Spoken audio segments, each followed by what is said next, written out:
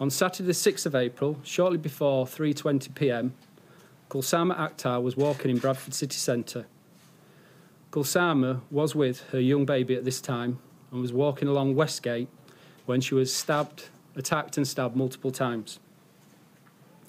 Emergency services were called at 3.21pm.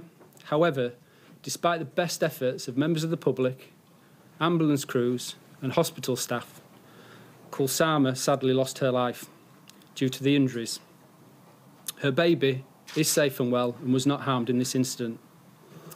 Through initial CCTV inquiries, we identified a suspect, 25-year-old Habibur Masum. Kulsama and Masum are known to each other and are from Oldham in Greater Manchester. On Sunday, we circulated an appeal to locate Masum, who also has links to Burnley and Chester. Masum is a slim Asian man and was last seen wearing a duffel coat with three large horizontal lines of grey, tracksuit bottoms and maroon trainers. At 3.30pm on Saturday, he was captured on CCTV getting on a bus on Market Street here in Bradford. He then gets off the bus at 3.42pm on Killinghall Road and walks in the direction of Bradford Moor Park. This is our last confirmed sighting of him. There has since been no confirmed sightings of Masum. However, I would like to thank again everyone who has been in touch.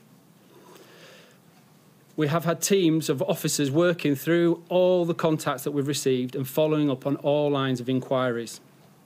There are significant resources conducting CCTV and house-to-house -house inquiries, and we also have local Bradford officers carrying out increased patrols in the area, which I hope will be of some reassurance to residents. With the support of other forces, we have conducted a number of raids in the Burnley and Oldham and Chester areas in the search for Masum. And during these searches, a 23-year-old man has been arrested on suspicion of assisting an offender and is now in police custody. Our inquiry continues at pace and we remain keen to receive any information which would assist.